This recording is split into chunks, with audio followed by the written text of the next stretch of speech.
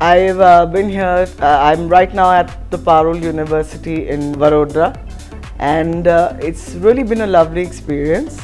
What I understand is that uh, the students have the right vibe, some of them extremely talented.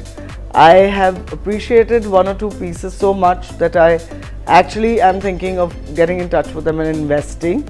Uh, I uh, like uh, their sense of expression in whatever little work that they've shown me.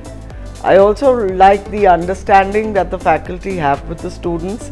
I think it's a great lot and I can see some very potential, at least four or five girls who have great potential to kind of be out there in the world and do some brilliant things. And uh, I've really enjoyed myself. I'm actually a bit unhappy that it ended so quickly because I was having such a great time interacting with the young minds and understanding, you know, what their sense of creative expression is. And I want to thank the Parul University for having me here. And uh, it's really, really been a very fulfilling experience. And I'd like to thank everyone for that.